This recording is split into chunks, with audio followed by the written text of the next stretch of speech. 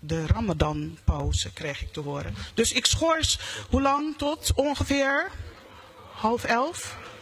Half elf? Tien voor half elf. Schorsing tot tien voor half elf. Voorzitter van de orde. Voorzitter van de orde. Ehm, in het kader van een liberaal beginsel wat wij toch wel aanhangen, en dat is de scheiding van kerk en staat, zou ik het gewoon een koffiepauze willen noemen. Die hanteren wij. Ja, voorzitter, dan even van de orde. Het kan pas om kwart over, dus dan zou ik eh, toch even. Ja, dan zou ik toch even doorvergaderen. Het scheelt van de tijd, het scheelt tijd. Ja. Ik schors tot, tot oh, laat, want ja, tien voor half elf Voorzitter. is meegegeven, is gevraagd. Dus uh, tenzij u iets heel anders wil voorstellen. Ja, een punt van de orde. Eh, er, was Meneer de Jong, er was gepland op een dagvergadering.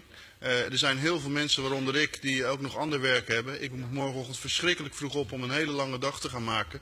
Eh, ik vind het eigenlijk wel weer mooi geweest, dit feestje. Ik zeg gewoon doorgaan en afmaken en eh, ophouden met die flauwekul. Voorzitter. Ik vind het jammer dat het eh, op deze manier moet gaan.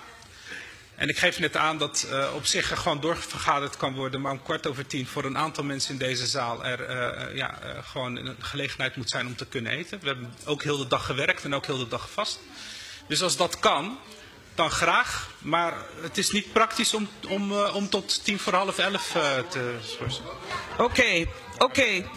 Ik, als, u, als, u, als, u, als u mij even de gelegenheid geeft, als u mij even de gelegenheid geeft. Het eh, is een goed gebruik rond deze tijd te schorsen. Dus dat is één. Wens u een theepauze, dan houden we hem kort. Dan houden we hem tot, voor de mensen dus, tot eh, ongeveer tien voor half elf. Zegt u nee, we gaan gewoon door. Dan inderdaad zal een aantal mensen zich eh, eh, terugtrekken daarna. Dus eh, vanwege het goede gebruik ga ik toch even schorsen. Het is een goed gebruik rond deze tijd. Maar, Nee. dan, maar dan niet... Geeft u mij alstublieft even de gelegenheid. Maar, voorzitter, ik ik zou u een derde voorstel willen meegeven. En laten we het dan inderdaad kort houden, dit debat. Laten we een koffiepauze houden of een theepauze vanwege die scheiding van. Maar wel rekening houden met elkaar. En gewoon om kwart, even, kwart over even die theepauze houden. Klaar. Dan Goed, ik. Nooit geweten dat een pauze, een pauze, het inlassen van een pauze zoveel rumoer zou geven. Mag het, mag het alsjeblieft even stil zijn? Ik zie mevrouw Belhaai ook staan. Mevrouw Belhaai. Ja, voorzitter, ik wil eh, inderdaad zo snel mogelijk weer beginnen. Maar wat ik wel graag zou willen, en dat kan ook in het presidium, is hier even een gesprek over. Omdat ik respecteer wat iemand ook gelooft of niks gelooft. En dat hij een manier moet kunnen vinden om daar uiting aan te vinden. Maar ik heb in al die jaren nog nooit meegemaakt dat de pauzes worden aangepast op een moment... dat-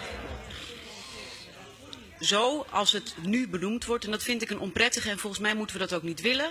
Dus volgens mij kunnen we nu gewoon doorgaan. Is er theepauze? Ongeacht wat de reden is voor een aantal mensen om even weg te gaan. En daarna wil ik binnen het presidium een goed gesprek erover over hoe we mee omgaan. Want ik vind dit niet een prettige zaak om het ene wel te doen en het andere. Voorzitter, ik vind dit een schijnvertoon en ik zal u zeggen, Nee. voorzitter, dat als we op deze manier hier in deze zaal zo met elkaar omgaan, gewoon geen rekening kunnen houden omdat iemand gewoon even vijf minuten wat kan eten of drinken, terwijl we hier om de haverklap pauzeren, terwijl ik ook gewoon niet die pauze gebruik van maak, dan zeg, zal ik u vertellen, voorzitter, dan wordt er vergaderd, maar zonder mijn fractie en waarschijnlijk ook een aantal anderen. Goed, ik, eh, ik, ga, ik ga toch, lieve mensen.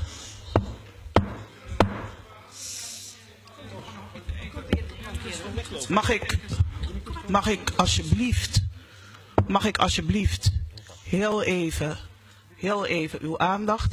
Ik zie dat er een behoefte is om gewoon door te gaan. En met een kwartiertje, dat wordt hier gezegd, te schorsen. Dus ik stel voor dat we dan even doorgaan. En de mensen die zich zo meteen willen verontschuldigen, moeten verontschuldigen, dat ook gewoon doen. Voorzitter, nee. Dus Voorzitter, dat kunnen we Ik zie hier dat er behoefte is aan doorpakken, doorgaan. Voorzitter, voorzitter, volgens mij is het gewoon een heel goed gebruik dat we hier rekening houden met elkaar. En het is iftar en het is, dat hebben we ook al eerder gedaan. Dus laten we nou gewoon die pauze nemen totdat eh, de, de vaste gebroken is. En dan kunnen we daarna weer beginnen. Echt waar. Maar als dat om kwart over tien is, dan kunnen we nu nog een ordedebat hebben tot kwart over tien. Maar tien minuten, daar doe je ook geen agendapunt meer in. Dus laten we gewoon schorsen totdat de iftar afgelopen is en dan is het gewoon klaar. Oké, oké. Beste mensen, vanwege. Er zijn zoveel meningen, zoveel ideeën. Ik schors de vergadering.